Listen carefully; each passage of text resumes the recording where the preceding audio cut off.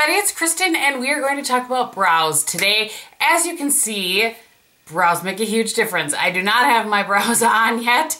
Um, I thought I would kind of start the video just to show you a little bit if you kind of think, um, maybe doing my brows wouldn't make a difference, you know, as much as some people do. For me, and I think it kind of depends on who you are, for me, it makes a really large difference. Um, so I think let's just talk a little bit if you can stand looking at me. my brows. I want to talk a little bit about my brow journey, so to speak, and then um, I'll show you how I fill them in. And, and I will do this, you know, kind of, I'll, I'll try to very condense it for you.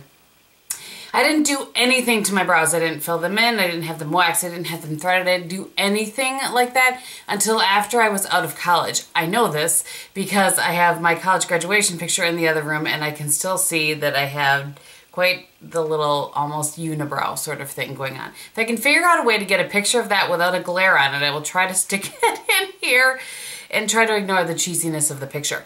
So I, I don't remember exactly when the first time it was, but I want to say it was a couple of years after I graduated from college. So I'm going to say late, late 90s, early 2000s, something like that, was the first time I actually did anything with my brows. And I started with waxing. I didn't do it myself. I didn't even pluck my brows back in the day. Um, I, I, I don't know. I don't know why. Maybe because my mom didn't. I, I don't know. So I just kind of, well, and two, I grew up in the 80s and 90s, and, and I know that for a while really thin brows were the thing, but I think I was too young then.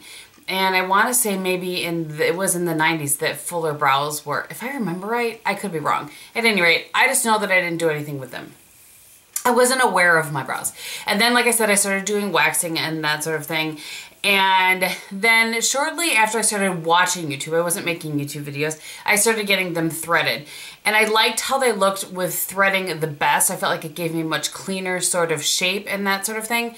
Um, but I will tell you this, it has been probably two or three years since I've had them threaded, waxed, anything. And I think that's because of so many years of doing it, the hair just doesn't really, just didn't start to come back. The reason that I went into that a little bit is because um, I had been asked several times to do sort of like my brow routine as far as not just filling them in, but you know, like maintenance. And this is it. A tweezers is all at this point that I have to do. And I don't I don't know if it's my heritage or what, but I don't really get a ton there. So all I generally do is every, I don't know, I was gonna say every five, six days, something like that, I just go into my big mirror and just kind of pluck what's out of the line that I sort of have here. So um, that that's it. That's the extent of what I do as far as maintenance. I, I, I know that I'm lucky. I have friends that have to pluck every single day. Um, but that at this point, because of the threading and the waxing stuff that I did, you know, below and above, which I, if I could go back, I probably wouldn't have done anything above, but, and then in between, not a ton of hair really grows anymore. So there you have it. All right, so let me get into the actual brow routine. I'm just going to, so that these aren't driving me crazy, I'm just going to pin my back, my bangs back a little bit here. Hopefully I don't put a little, I need one of those little Velcro things that like, you know, doesn't make marks in your hair. Okay, so as you guys know, if you haven't seen my video, and I will link it below if you haven't, on the three skinny brow, skinny brow pencils that I used, um, the one that I liked the best was the L'Oreal. And I know you guys give me a lot of suggestions as far as Clinique was another one. And oh, somebody mentioned another one. Dior, they said had a really nice one. I feel like somebody said Elf did as well. So I may try some other ones, but at this point, the Clinique or the L'Oreal is my best. I'm going to zoom you in a little bit. Hopefully I've moved you in enough. Um, if anybody's going to ask about this mirror, I almost always get questions about it. This is the Zadro mirror. There are a bunch of different models. This particular model isn't available anymore, but I love it. Okay, so I'm just going to move, move this up a little bit. I do have a little redness on this eye in case you are curious. My allergies are driving me crazy. So I'm not saying this is right or wrong. This is just what I do. I take the skinny pencil and I sort of, uh, sort of kind of start where I think I want, this is going to be tricky, where I want that brow to end up. And I'm not pressing very hard at all. And um, I generally go up to where I want my arch to be. And you can kind of do this. Go from your the edge of your nose like that, sort of like that, you can kind of see where you're supposed to be. I think it's important to to kind of follow your natural brow. If you go too much out of it, then it's going to look too fake. And then from there, I just kind of, you can kind of see I'm just lightly bringing it down. I'm just trying to get a rough shape at this point. And I'll go back and fill this in, but one thing I want to show you, when I'm, when I'm doing, when, when I'm filling in down here, this is really tricky for me because I'm not sure the right words to say, but I don't go like this way. I kind of go this way. So once, as I'm filling in here, so I'm, I'm going to go down here. As I'm filling in here, you can see I'm going all the way up here. I'm not like trying to follow some particular line here. Again, I feel like it makes it look more natural. So I'm just kind of going up here. And then when I when I'm filling in the tail, I stay with that sort of upward sort of motion and I clean up as I go if I get something where I don't want it.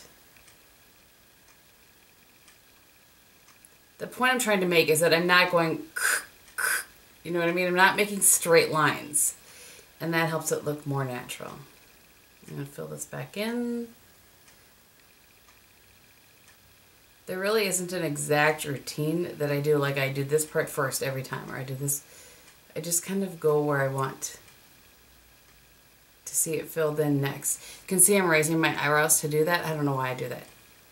Maybe it's helpful. Try it. I don't know.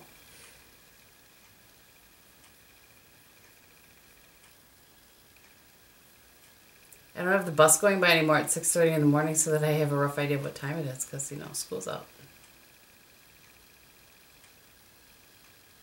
And again, I wish I could, I wish you could feel the pressure. I'm just really very lightly filling in the, because the car decided to go by to let me know what time it is. It's actually 6.40. I'm running a little late today. Okay, so I kind of have that filled in. Then I'll flip it around, and and I do this a lot. I think I probably do it more when I'm not talking through it, but I lay down some brow, pro brow product and then run the brush through it, and I think it just helps it be more natural. And you can pull this out as far as you want. For the longest time, I think I probably stopped right about here. And then my friend Rich, excuse me, who you guys saw, I did that um, glowy skin from, you know, mature or dry skin a video I did with him. He, whenever he does my brows, he pulls them out further. And I always liked how they looked, so I've started doing that this year. Just making sure everything's filled in right. And there you go. Now, um, I won't, going to bore you with showing you two of them, probably. But the other thing that I do, and I've talked about this a bunch, like in Get Ready With Me videos, I think, but I just take my, whatever powder foundation I'm using, and this is the Beauty Junkee Taper Blending Brush. And I feel like my brows just look a little bit more part of me if I go over them a little bit with some powder foundation. And then they don't look a little they don't look quite so stark and just look better. So with a brow, without a brow. I always find it tricky. For some reason, my left eye doesn't, my left brow doesn't come in quite as far as my other one. So I try to very lightly sort of make them match up a little bit. But again, as everybody always says, sisters not twins. And I just do my best sort of to make them not look like they aren't even related. And for some reason, this brow always goes better than this brow. I don't know if it's just because it's my right hand on my right side. I'm not really sure, but you know, eventually I get them to look close. And it doesn't, I don't feel like it takes me that long. then again with the powder foundation. All right, so hopefully Hopefully that was helpful. I if you look at like I feel like it looks a little bit harsher in the viewfinder than it does in person.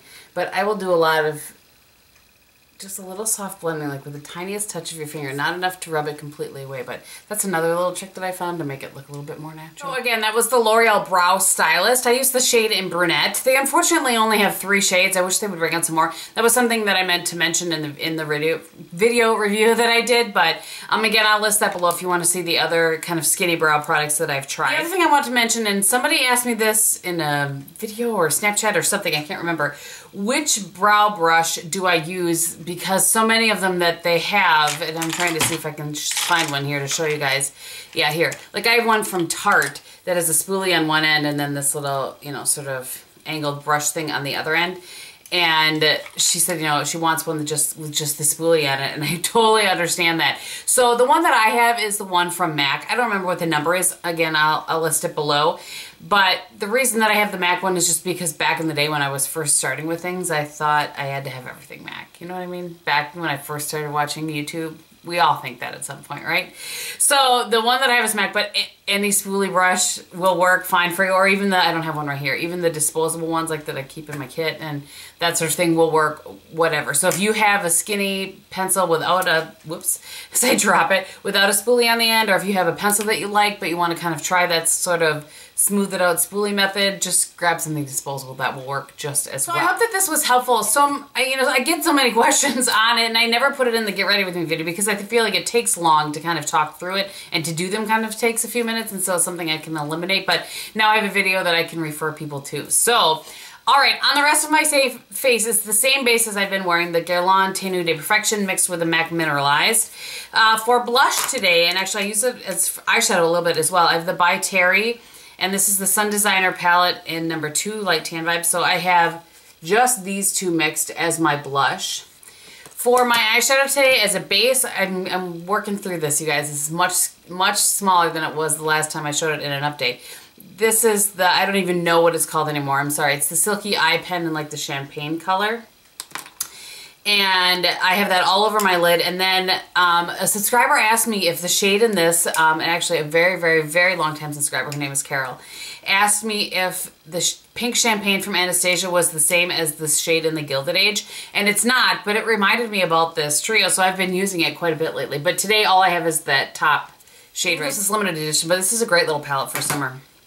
And then what I did was as transition, I used this shade right here and then to deepen things up, I use kind of a combination of this shade and this shade right here. So I just played right within that palette. A little bit of liner on my tight line, and I think that's everything. On my lips today, I have the NARS Velvet something gloss pencil, and this is in the shade New Lover. And I think that's it. So thank you guys so much for watching. I hope you're having a great day, and in everything that you do, be beautiful. Bye!